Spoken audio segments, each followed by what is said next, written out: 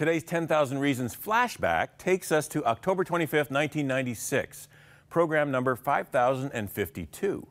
The guest was Phil Vischer, the creator of what was then a new and extremely popular children's animated series, Veggie Tales.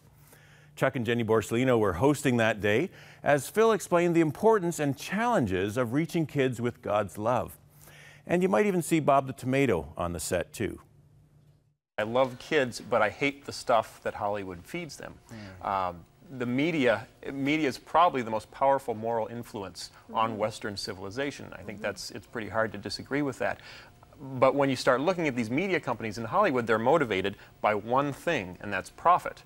So they will do whatever they have to do to, to increase shareholder return, to make their stock price go up so they can do stock splits and have dividends and, you know, and retire and be fabulously wealthy.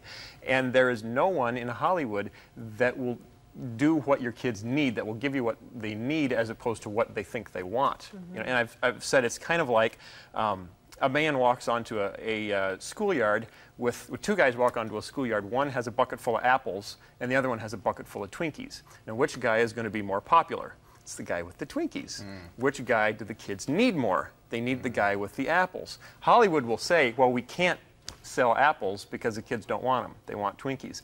What my challenge is to say, no, the, the, the key is not to knock off the guy with the Twinkies. The key is to come up with an apple that tastes like a Twinkie. An apple that tastes like a Twinkie. And Phil certainly made that a reality with so many high quality, entertaining, biblically based episodes of Veggie Tales. More recently, our Crossroads Global Media Group has partnered with Phil Vischer to produce Rock Kids TV, which includes our own God Rocks characters, as well as some new animation Phil has developed for his latest project called What's in the Bible. More apples that taste like Twinkies for a new generation. That's just a quick flashback as we look forward to program 10,000.